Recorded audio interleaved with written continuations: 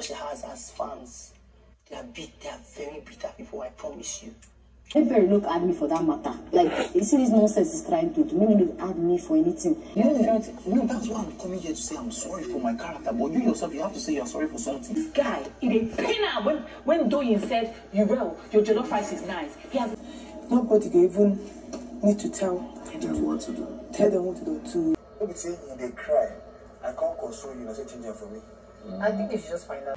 Hello everyone and welcome to my YouTube channel. This is Funpop With Lilian. How are you all doing?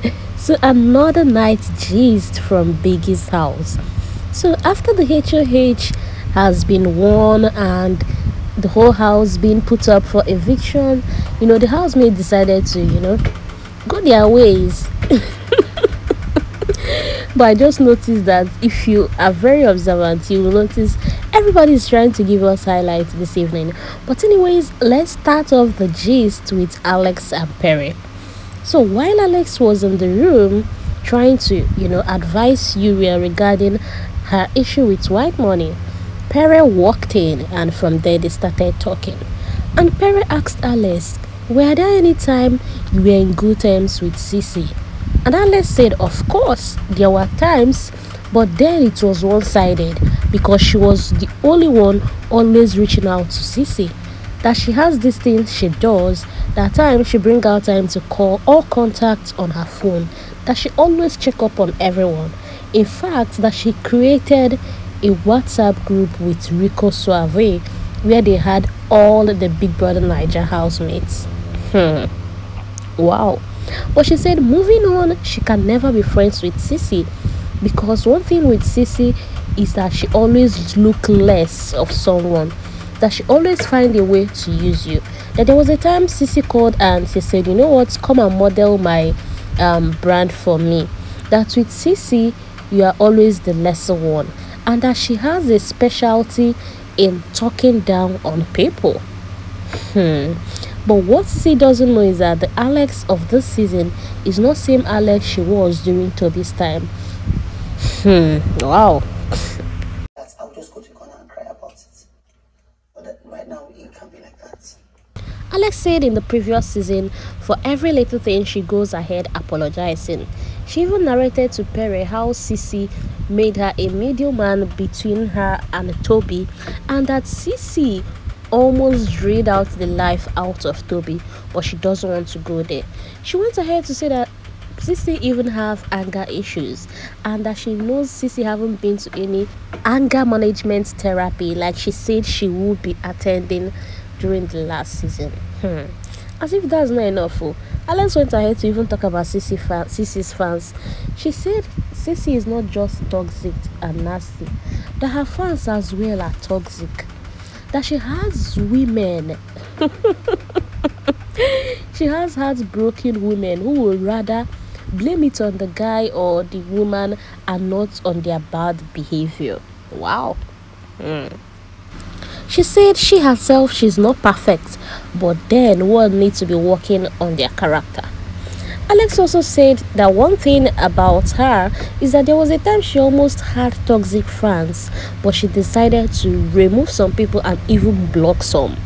That CeeC really need to work on herself, that she's too toxic. Meanwhile, Brother Pere is already telling Alex that he is the only one that sees you in this house. That he's the only one that sees your pain. He's the only one that sees your struggle. He's the only one that can see when you're angry or not. That after the show is going to be the both of them. That he will just, you know, take you away, fly you to America. And Alex was even like, oh, tell me it's not New York. You know, you know, New York is stressful, blah, blah, blah, blah, blah. And Perez said, no, not New York. And from there, they even started talking about her film school and all of that. Okay, oh. Hmm. Meanwhile, on the other hand, Cross decided to have a talk with CeeC regarding the whole Pere issue. Cross told CeeC that Pere is not really happy with you regarding how you said you don't want, you know, to have a conversation or discussion with him in this house until the end of this game. And when Cross even asked CeeC, how did you even come to know about this Pere guy? and CeeC went ahead to narrate how it all started about um, through a movie contact that you know Pere reached out, connected her with someone for a shoot, and the rest is history. Or whatever, whatever. And then he called me and told me, there's this woman. Can you call, can you call? CeeC said because the movie was shot in the US that they became very close. Not just as, you know, co-workers, but people from the Big Brother Naija platform. And she said that since then, they've been very close. That even prior to coming into the house, you know, they were helping each other. They were asking each other, oh, have you gotten your mail? You know, this, they were discussing literally everything about the show that she was surprised coming into the show to realize that, you know, Pere has changed. She said that what pained her the most is the day she had that issue with Alex. And instead of Pere trying to say the truth, decided to side Alex, saying, Oh, this girl have been working hard, this, this, this, that. In the essence, all Pere was trying to portray is that she's trying, you know, be an obstacle or be so um be like a sort of condemnation to Alex hard work and all that. Cross went ahead to, to even tell CeeC um, about the whole Alex thing in the middle. And CeeC said, You know what? Please, nobody should bring me into any triangle or any circle or any sheep. Now, coming into this house, sheep is not any of her strategy.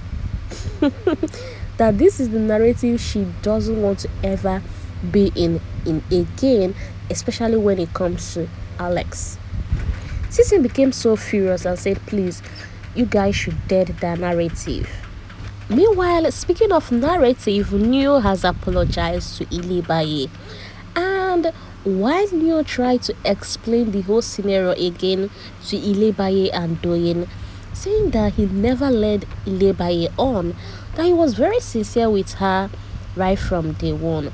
But Ilebaye even tried to explain more. okay, wait. Neo didn't really give Ilebaye the chance to speak more because Ilebaye wanted to explain on how Neo led her on, on how she felt she was being played or used, on how what Neo says is not what he portrays. Okay, but then Doyin said, You know what? I think the both of you really misunderstood each other. And when Neo apologized, Ilebaye just kept mute. And Neo said, No, you have to apologize as well. And even when Ilebaye said, You know, um, I'm sorry, and Neo said it doesn't look like an apology. But one thing I really want to ask is, I don't know why Neo is apologizing on Monday evening. Is it the eviction? Is it like I don't know, but guy, Saturday night, you know, you're claiming your rights. Sunday morning, you and your sister was still busting everywhere, and all of a sudden, you are apologizing. Are they trying to give us a show? Speaking of new sister, Venita was in the restroom crying, and when Shay walked in and tried to know what's up, and she said, you know, she feels her brother Neo doesn't have her back in this game. Hmm. That why she was trying to, you know, the whole pardon me thing, Neo said it's stolen a badge, he will need to pardon. And while Shay moved to Neo to find out why will you do this to your sister, and Neo said, No, I guess be a man. That Venita has her pepper them um her pepper them clique. They already have an alliance and alliance. But here him Neo only have Tolanibaj. And uh, why the whole alliance thing was even happening, that Venita walked up to him and told him to go meet CeeC and convince CeeC to pardon her.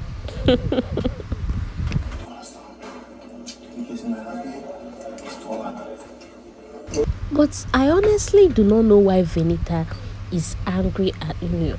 Because even when Venita went into the diary room to pardon someone. It was um, Ike Onyema, Ike that she mentioned, not even Neo. And anyways, I'm glad Neo wants to know have his stand and play his game. Speaking of playing the game, Princess confided in Alex that the reason why she seems not to be having more conversation or being active in the house is because the last time she was on this platform, she noticed that people saw it from from her. You know, people perceived her as someone that boasts. That when she came out, they kept talking on how when she was in the house, she was always referring to her US trip, London trip, and all that. She they said this time around she just wants to be calm. That there is no wrong in keeping quiet. You know, she just wants to keep to herself. And although Alex think otherwise, Alex advised her to be more vocal, to be active, to involve in interaction, you know, to air her opinion during group discussions. And not just only was Alex the one advising a housemate, Sheyin Ad- Adekunle has decided to advise Soma as well after they congratulated, congratulated him for being pardoned. They advised him, you know, to be more active in the house, to go around and socialize. That has he seen that even the ladies were happy he was pardoned, that he should go and mingle now you know, look for one or two babes that okay, if it's going to be Angel, at least let them officially know that summer gel is the thing. Honestly, these guys? Some gel, some gel. Some gel. Meanwhile, Doyin was very honest to express her feelings regarding Soma being pardoned. Doyin said before the whole pardon thing that their alliance agreed to put up Soma during eviction. But to her greatest surprise, only to see that, oh, he was pardoned, you know, in there. And she was very honest to say that, oh, congratulations, Soma, for being pardoned. But if it was an eviction, I could have entered there and put you up for eviction. And she said, honestly, she was surprised at the way, you know, the ladies went to go hug him. People that had these conversations with her regarding nominating Soma up, you know, went to hug him and all that. And she says she feels betrayed. That moving forward, it's better to just play this game. That it seems like she's the only one who is very honest with her opinion or her moves regarding this game. And I think Doyin is not even the only one feeling that way. Mercy Eke also had a conversation with Frodd and said, You know what? I think all man should just play their game because things are beginning to turn around. People are not keeping to their words. I think the whole pardon meeting is just like it kind of changed all their alliances and strategy. Wrapping up evening gist with what really happened between White Money and Uriel. So, White Money said in a while they were having a conversation, Uriel talked about her mom, you know, being ill. Like we all know, Uriel's mom is ill. And White Money said why Uriel was trying to narrate how sick her mom is, he decided to say, Oh, well, I saw a post of you and your mom before the show. You know white money, you're not going to be happy completely if you don't cook. But it may seem as though that didn't really go well with Uriel because White Money said immediately Uriel went from 0 to 100. While the rest of the housemates are advising White Money to go and meet Uriel, you know, ask her why, like what happened, the whole outpost and all that. White Money said no, that he won't be making that move because if Uriel genuinely saw him as a friend, he won't, you know, go on off on him in public. That, for instance, if he has a problem with Frodd, that he will just go and meet Frodd and settle his problem and not shouting everywhere. But then CeeC advised White Money that it's all about emotions. You know, being that her mom is the bone of contention here, you don't know how she really feel, and you know how the house can have effects on people. But then White Money was still saying, no, no, no, no, I'm not going to do that. Meanwhile, Kiddwaya said there will be a food roaster. Hmm. because you know during the outburst, Syria kept saying on how White Money is using that kitchen as a strategy. That the other day she made jollof rice and people said, "Oh, she cooks well." Only for White Money to come to the next day and make jollof rice again. What is white money trying to prove? That white money is, keeps bullying her. That white money even refused to eat her food.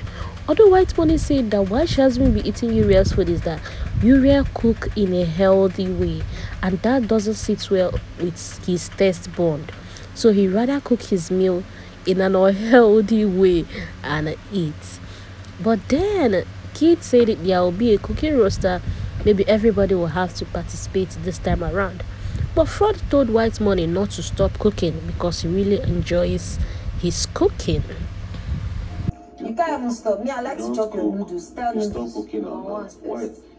Meanwhile, Frodd took that opportunity to talk about the eye service in the house and told White Money to just do your thing. If cooking makes you happy, go ahead and cook. That's why Uriel was going upstairs, that even people him Frodd cook for were busy telling Uriel oh that they will miss her and her meals. Meanwhile, he's the one that will be feeding them since the show started. Frodd said, don't look at anybody's face because even the people that are eating your meal will still go there and you know and put you up for eviction. So do your thing. Crazy nights. Anyways, thank you for listening. I hope you enjoyed listening to the whole details. It was actually a long one but please don't forget to give this video a thumbs up i'm begging you beg like this video for me. And feel free to comment as well. If you haven't subscribed to my channel uh, what are you waiting for now? Support your girl now mm? anyways thank you and i'll see you in my next video. Bye